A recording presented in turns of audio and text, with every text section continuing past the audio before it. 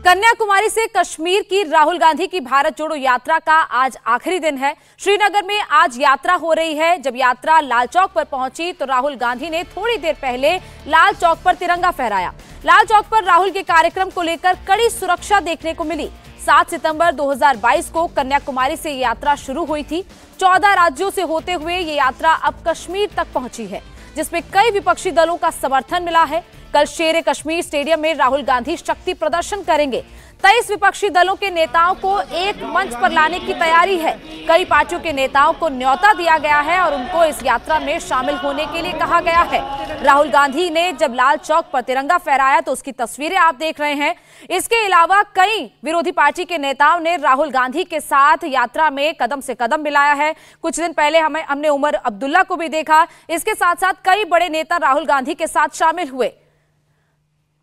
अगर आपका credit score कम है तो बैंक लोन छोड़िए, शादी के लिए लड़की भी नहीं मिलेगी। क्रेडिट स्कोर इम्प्रूव करना है तो फ्रीडम ऐप को अभी डाउनलोड करो। राहुल गांधी ने जब तिरंगा फहराया तो कश्मीर के लाल चौक पर वंदे मातरम गूंज उठा। मंजूर मीर की ये रिपोर्ट देखिए।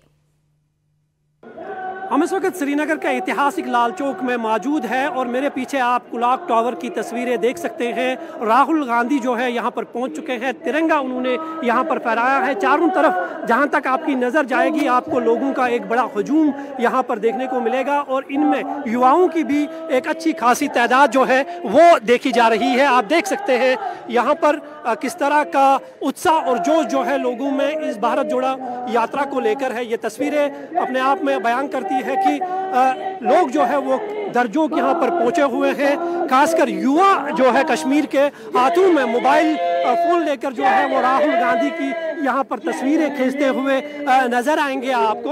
और राहुल गांधी ने यहाँ पर लाल चौक, क्लॉक टावर के पास जो है तिरंगा फहराया है और ये देख सकते हैं, नारेबाजी यहाँ पर हो रही है। एक ऐतिहासिक रैली के तौर पर जो है इस भारत जोड़ो यात्रा को देखा जा रहा है। हालाँकि ये यात्रा जो है आज कश्मीर में जो है पूरी तरह से संपन्न होगी। कल राहुल गांधी एक जनसभा को संबोधित करेंगे। हालाँकि सुरक्षा के कड़े इंतज़ाम किए गए हैं। ये तस्वीरें आप देख सकते हैं चारों तरफ़ से कि किस तरह का माहौल लाल चौक में देखा जा रहा है, तिरंगा लहराया जा रहा है और कांग्रेस पार्टी के जो झंडे हैं वो भी यहाँ पर आपको चारों तरफ़ से दिखाई देंगे। इस रैली में करीबन तेरह दूसरी पॉलिटिकल पार्टियों का समर्थन जो है राहुल गांधी को कश्मीर में हासिल हुआ है। बानिहल से लेकर श्रीनगर तक की बात करें तो हर जगह पर जो है, राहुल गांधी का यहाँ पर स्वागत किया गया। खासकर नेशनल कॉन्फ्रेंस के उपाध्यक्ष उमर अब्दुल्ला और जम्मू कश्मीर की पूर्व मुख्यमंत्री महबूबा मुफ्ती का भी जो है, समर्थन जो है इस रैली में देखने को मिला है भारत जोड़ो यात्रा में। और ये तस्वीर आप देख सकते हैं, इसमें न सिर्फ़ कांग्रेस के कार्यकर्ता है,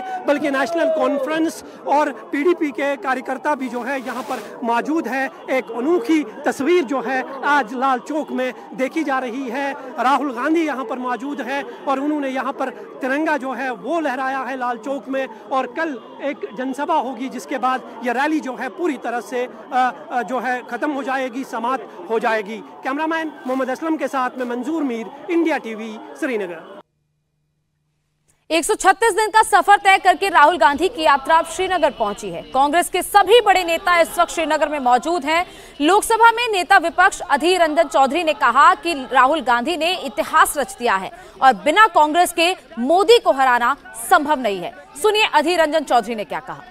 Leader of opposition Congress party के लोकसभा में अधीर रंजन चौधरी हमारे साथ हैं। दादा, आज यात्रा का एक तरीके से समापन हो जाएगा, काफ़ी लंबा हाँ। राहुल गांधी इतिहास बना रच दिए हैं। एक वार्ड में राहुल गांधी जी इतिहास रच दिए हैं।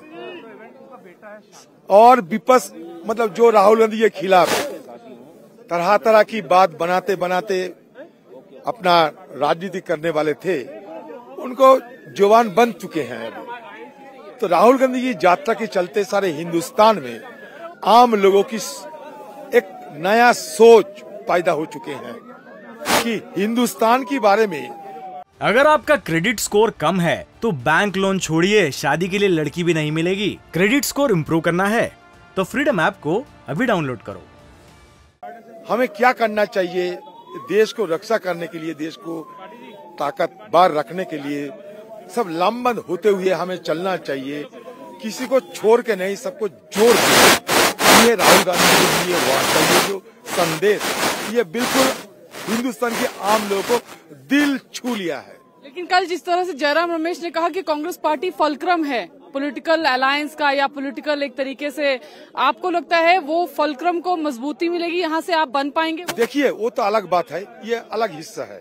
राहुल गांधी जी शुरू सी दिन से भी ये बोलते आ रहे हैं कि ये इसके साथ सियासत के ना जोड़ा जाए तो बेहतर है।